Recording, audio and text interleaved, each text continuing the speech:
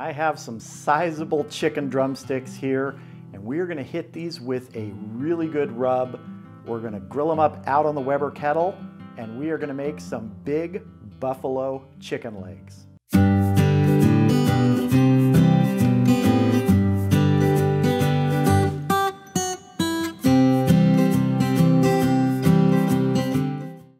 Yeah, I mean, look at these things. These are like from chickens that work out. They almost look like small turkey legs. So we're gonna be getting these out on the Weber kettle tomorrow. If you've watched enough of my videos um, when I do chicken, a lot of times I like to season it the day before and let it air dry in the refrigerator overnight. That allows it to absorb some of the flavors. It also helps the skin dry out. So if you want that non-rubbery skin, this can help. And I'm gonna be hitting it with a rub that I bought just recently. It's from my buddy Scott over at the Real Show Barbecue channel. I've had some of his rubs before. When I saw he had a new one, I just went ahead and bought a couple bottles of it. It's called Bailey's Ultimate Rub. Really good. I think it's gonna go great on this chicken. I give a good coating to everybody here. And these are just gonna stay on this rack and this tray in the refrigerator overnight to help air dry. Keeping them up off the bottom helps that air circulation. We want to get all sides of the chicken here. And seriously, look at these things, how big they are. Maybe you've seen bigger drumsticks, but these are, I don't know. I don't usually see them this large. All right, see, I think we're looking pretty good here. All right, I'm happy with that. I'm gonna get these in the refrigerator. They're gonna air dry overnight. And like I said, tomorrow, I'll see you out at the Weber kettle.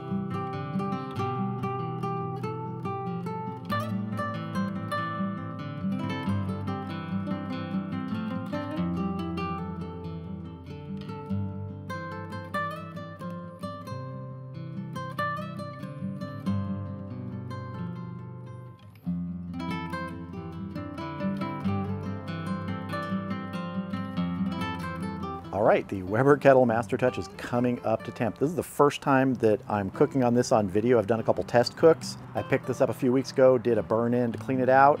Now it's time to put it to work. So let's go ahead and get our chicken legs on.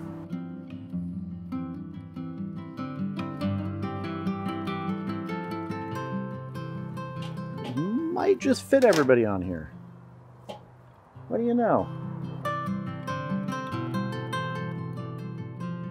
All right, let's get this closed up. Let these get cooking.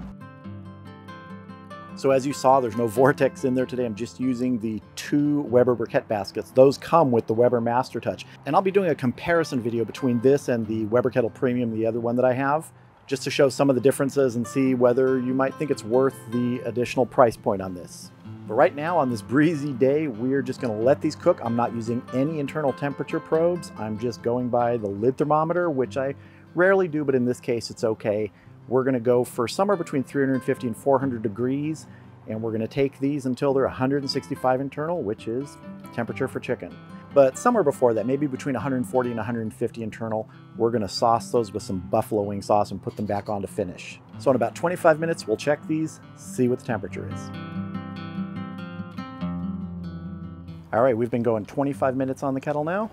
Let's check our chicken legs.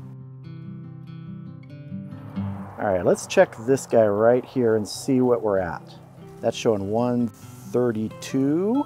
You know, that's close enough for me. We're gonna go ahead and sauce these and get them back on.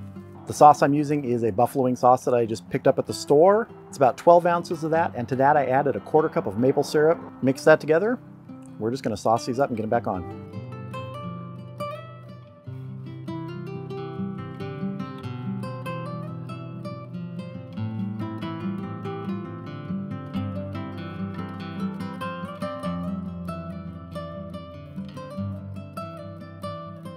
Well, the Master Touch sure is getting a nice little dirty baptism by all that sauce dripping down.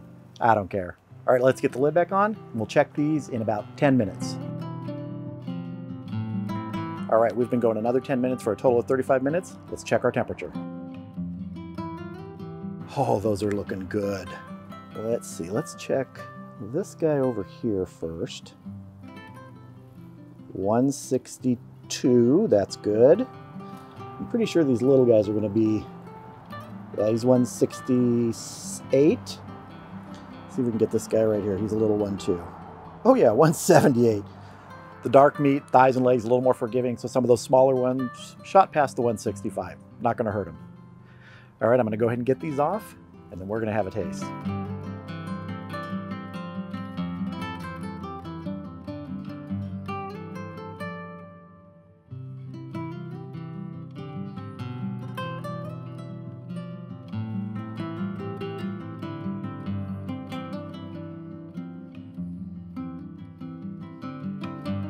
All right, here are our finished chicken legs.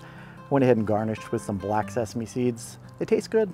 They look nice on here too. Nothing left to do, it's time to taste, so let's just dive in. And the first thing I wanna do is I wanna slice into one of these.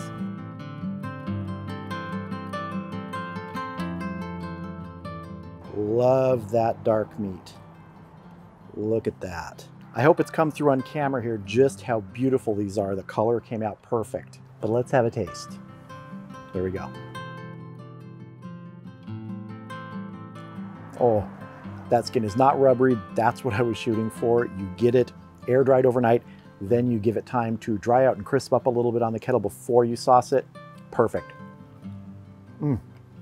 That Bailey's rub on here, really good, a great base of flavor underneath sort of the heat and the sweet of the sauce. I can see that going really well on beef too. I've just tried it on chicken and I tried it on pork just as a test.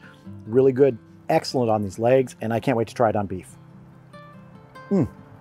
I mean, just look at how juicy that is. Best of all worlds here. Nice crispy skin, great sauce, juicy chicken. Mm.